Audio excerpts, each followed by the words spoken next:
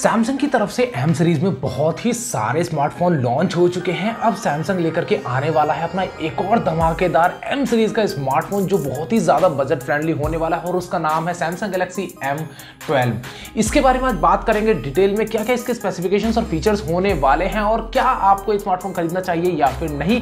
तो चलिए हेलो दोस्तों, स्वागत है सभी हमारे यूट्यूब चैनल टैक मोजो में, जहाँ होती है सीधी बात, नो बकवास, बिना तरीके शुरू कर लेते हैं आज का वीडियो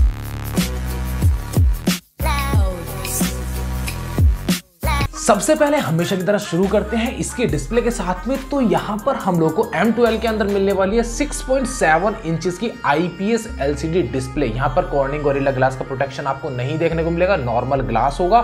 तो बहुत ही ज़्यादा संभल कर आपको इस स्मार्टफ़ोन को यूज़ करना पड़ेगा। उसी के साथ साथ अगर कैमरा सेगमेंट को देखा जाए तो रियर साइड में हम लोग को तेरह मेगा का प्राइमरी सेंसर आठ मेगा का अल्ट्रावाइड और दो मेगा का मैक्रो और दो मेगा का डेप्थ सेंसिंग सेंसर देखने को मिल जाता है। उसी के साथ यहाँ पर आठ मेगा पिक्सल का फ्रंट फेसिंग कैमरा भी देखने को मिलता है, जो काफ़ी हद तक अच्छी फ़ोटोज़ ले लेगा आपकी। यहाँ अगर प्रोसेसर को देखा जाए तो एक्जोनस प्रोसेसर बहुत ही ज़्यादा कॉमन हो चुका है एम सीरीज़ और ए सीरीज़ के अंदर तो यहाँ पर भी एक्सोनस 850 प्रोसेसर हम लोगों को देखने को मिल जाता है इस स्मार्टफ़ोन के अंदर। ये 8 सीरीज़ का प्रोसेसर है जो काफ़ी हद तक आपको अच्छी परफॉर्मेंस दे देगा। आप नॉर्मल गेमिंग कर पाएँगे इस स्मार्टफ़ोन के अंदर। और सबसे ज़्यादा खास बात है इसकी बैटरी तो यहाँ पर हम लोग लोगों को M51 की तरह ही M12 के अंदर 7000 mAh की बैटरी देखने को मिलने वाली है, जिसके साथ में आने वाला है 15 वॉट का फास्ट चार्जर। 7000 mAh की बैटरी के लिए 15 वॉट का चार्जर थोड़ा सा लो हो जाता है। यहाँ पर एटलीस्ट 20 वॉट का चार्जर हम लोग को देखने को मिलना चाहिए था। बट चलो ओके यहाँ पर 15 वॉट के चार्जर से काम चलाना पड़ेगा। काफ़ी अच्छा स्मार्टफ़ोन है।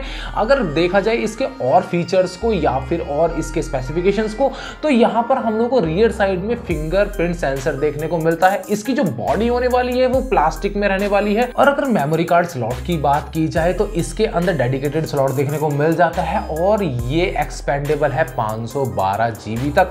काफ़ी अच्छी रेंज है इसकी एक्सपेंड होने की। तो यहाँ पर अगर वेरिएंट्स की बात की जाए स्मार्टफ़ोन की तो यहाँ पर दो वेरिएंट हम लोग को देखने को मिल जाते हैं। तीन बत्तीस और चार चौसठ के दो वेरिएंट हम लोग को देखने को मिलेंगे। और अगर बात की जाए इसके प्राइस की तो ये स्मार्टफ़ोन लॉन्च होगा साढ़े ग्यारह या बारह हज़ार रुपए की रेंज में। काफ़ी अफोर्डेबल है, काफ़ी बजट फ्रेंडली स्मार्टफ़ोन होने वाला है। आप इसे ज़रूर ले सकते हैं। अगर आपका बहुत ज़्यादा हैवी यूजेज नहीं है नॉर्मल आप यूज़ करना चाहते हैं तो इस स्मार्टफ़ोन को बिल्कुल से ले लेना।